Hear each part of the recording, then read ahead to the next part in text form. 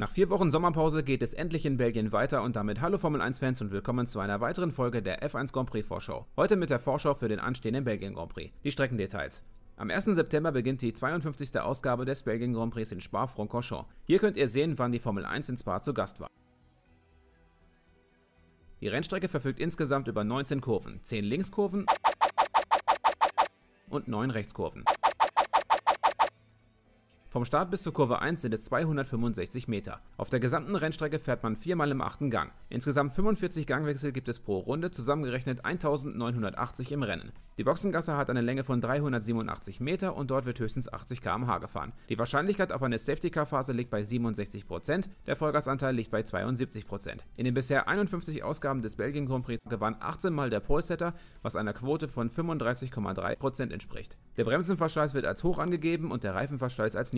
Gefahren wird 44 Runden lang im Uhrzeigersinn bei einer Gesamtrenndistanz von 308,052 Kilometer.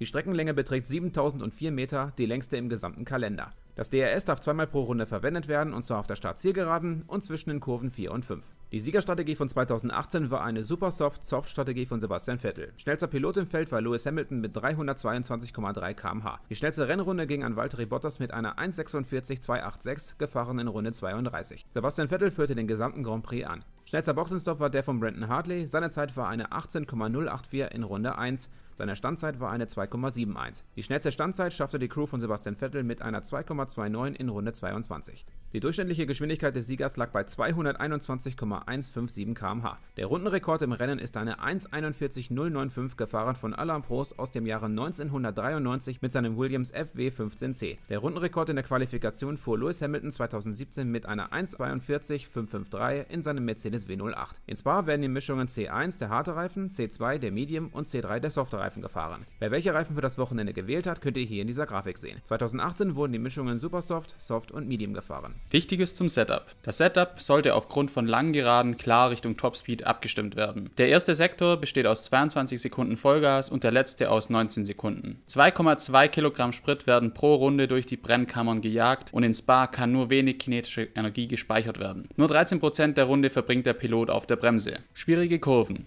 Kurve 3. Hier sollte man den inneren Curb lieber nicht berühren, ansonsten fliegt man ab. Kurve 7. Nicht zu weit nach außen kommen, sonst landet der Fahrer im Kiesbett, aber auch nicht zu weit nach innen fahren, sonst zählt das als Abkürzen. Kurve 10. Hier schalten die Fahrer vom 8. in den 7. Gang zurück, um mit Vollgas durch Pohorn durchzufahren. Kurve 15. Wenn die Fahrer hier zu weit nach links kommen, besteht die Gefahr, dass sie das Auto verlieren und im Reifenstapel landen. Der Zeitplan. Hier sind die offiziellen Trainings-, Qualifikations- und Rennzeiten.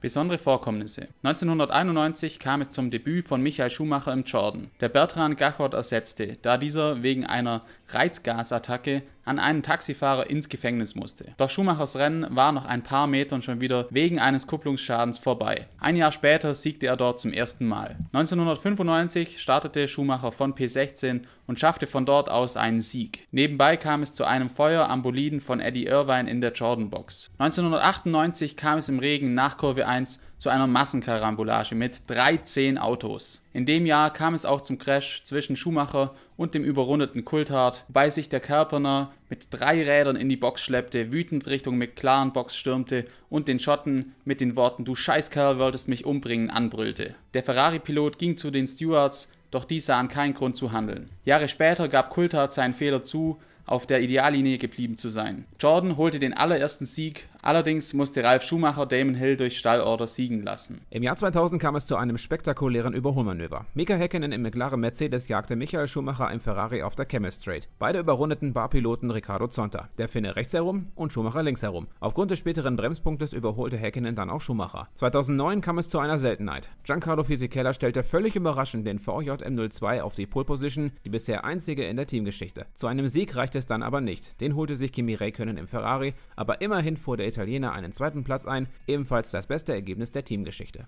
2012 wie auch 2018 gab es in Kurve 1 Auffahrunfälle. 2012 schoss Romain Grosjean über den Ferrari von Fernando Alonso und letztes Jahr kam es zu einem Auffahrunfall von Nico Hülkenberg, der in Fernando Alonso fuhr und der wiederum über das Halo von Leclerc flog. Die bisherigen Sieger des Belgien Grand Prix.